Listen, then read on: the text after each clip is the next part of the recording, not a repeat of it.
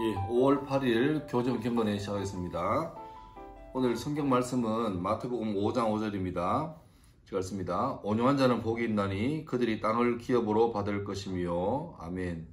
이 말씀으로 온유한 자 전성시대가 오길이란 말씀 나누겠습니다. 음, 개인적인 얘기입니다만은 좀 저희 아파트가 주차장 보강 공사 때문에 주차량이 심각해요. 그래서 아침에 오늘 아침 출근하는데 누가 이제 제 앞에 이중 주차를 해놨는데 사이드를 이렇게 당겨놔가지고 이렇게 빠져나오지를 못했어요. 아 정말 지나가시는 분의 도움 받아서 정말로 이렇게 아슬아슬하게 한 뭐한 5cm 차이로 겨우겨우 빠져나왔는데 꽤 오래 시간이 걸렸습니다. 몇 번이나 왔다 갔다 왔다 갔다 하면서 이제 시간도 막 마음이 분주하고 하는데 먼저 전화를 했죠. 근데 전화를 안 받으세요.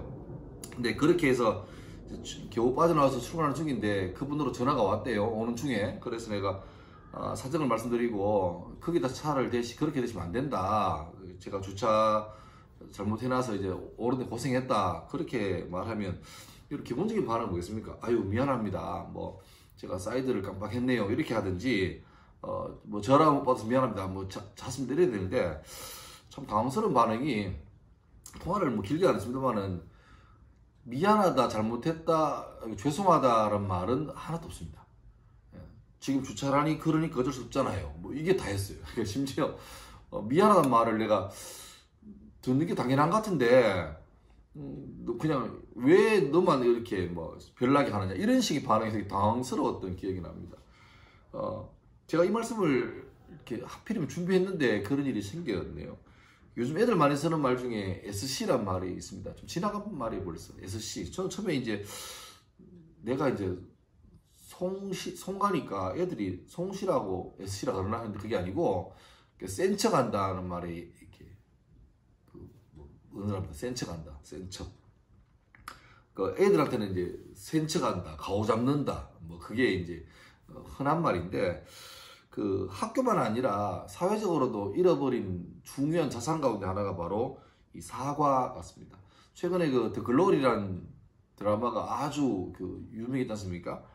음, 그것도 이제 학폭 관련된 사고죠.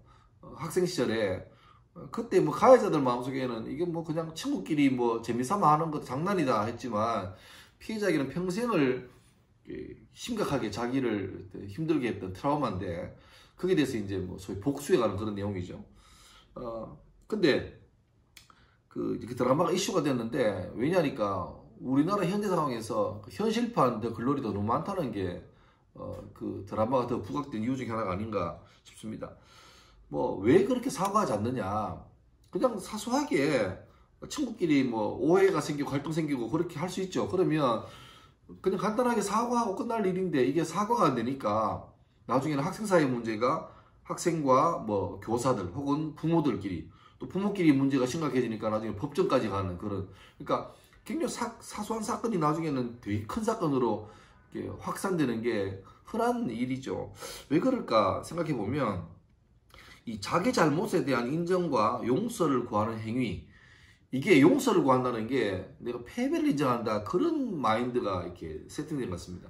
그러니까 이건 지는 거다. 그러니까 어떻게 내가 법정까지 가서 마지막에 잘못이 밝혀질 때까지 버텨라. 그리고 그때 설마 법정에서 잘못하는 게 밝혀져도 이건 억울하다고 말해라. 그래 네가 산다라는 게 우리나라 어떤 기성세대에 관해 정치인들 이것들을 통해서 자연스럽게 학습된 어떤 결과가 아닐까 생각해 봅니다. 그러니까 이런 거죠. 뭐 가다가 접촉사고 당했다. 그러면 큰 사고 아니고 경미한 사고고 그냥 보낼 수 있는 사건인데 뒷목 잡고 내리고.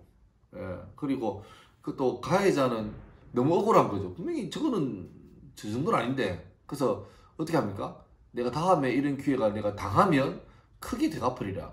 그래서 그냥 쉽게 넘어갈 일인데 병원에 위장 입원하고 보험료를 청구하고 당장은 좋죠. 근데 문제는 사회적으로 전체로 봐서는 그런 게 많아질수록 우리 각자가 부담해야 될 어떤 사회적 비용은 훨씬 더 증가하는 그러니까 누구도 이기는 게 없고 다 지는 사회가 되고 마는 거죠.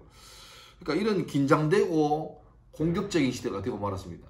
사과는 해서는 안 되는 일이고 모두가 다 내가 피해자고 내가 억울하고 저 사람 때문이다 라고 책임을 전가하는 시대가 되고 말았죠.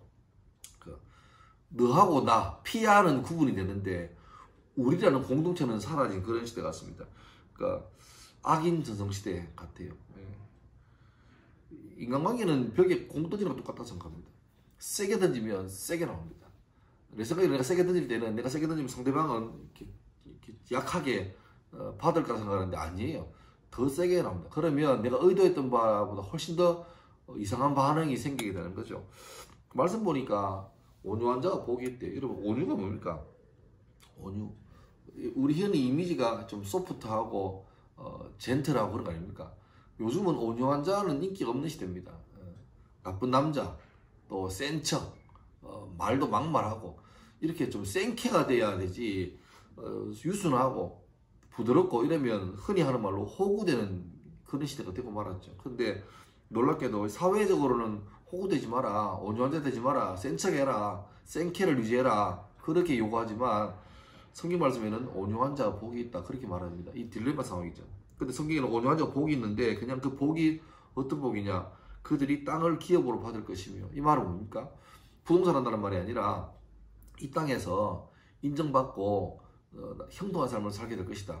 출처가 어디죠? 하나님이죠. 하나님께서 그 호구 같은 사람에게 그 온유함을 지켜가는 사람에게 이 땅에서 핍절하지 않게 망하지 않게 만들어갈 거다. 그렇게 말씀하고 있습니다. 학교에서 아이들하고 있다 보면 애들도 다 이렇게 센 척해요. 센 척하고 어, 이제는 뭐 사제지간보다는 서로 뭐 어, 견제하는 대상 같고 그런데 조그만 애들 불러서 얘기하다 보면 그 속에 조금만 툭 건드리면 그들도 아픔도 있고 어디 말하고 싶은데 그러니까 못 배운 것 같아요. 모르는 것 같아요.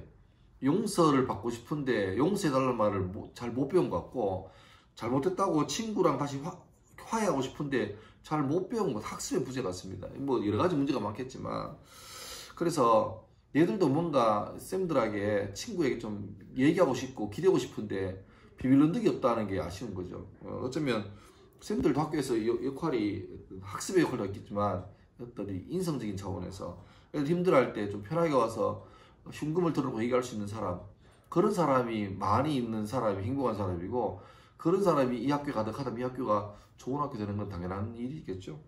어, 아무쪼록 이 영상을 보시는 분들도 여러분 한 주간 동안 센 척 하지 말고 좀 호구 같은 볼지라도 온유한 사람 되면 좋겠습니다. 온유한 사람. 음, 그 온유한 사람 되어서 내 주변에 어딘가 좀 이렇게 털어놓고 싶은 사람이 와서 좀 비밀 은득 될 수 있는 사람이 되면 좋겠어요. 그런 학교 돼야 하나님 말씀처럼 그들에게 하나님께서 이 땅에서 핍절되고 무시받고 끊어질 것 같지만 그 사람 생각이지만 하나님께서는 그들에게 땅을 기업으로 받을 것이며 유산되는 후대에게 물려줄 땅을 기업으로 받는 사람 그런 사람 그게 결국 잘 되는 거 아니겠습니까? 그래서 어, 우리 마음속에 나도 분노가 있고 나도 지는 거 싫어하고 나도 승부이지만 여러분 주님께서 우리에게 너희는 강력한 자가 되라 말씀하지 않으시고 온유한 자가 되라 말씀하시니까 그 순종에서 이번 한 주간 좀 자발적인 호구가 되어 보시는 게 어떨지 그런 사람들 되시길 주의 이름으로 축원합니다. 감사합니다.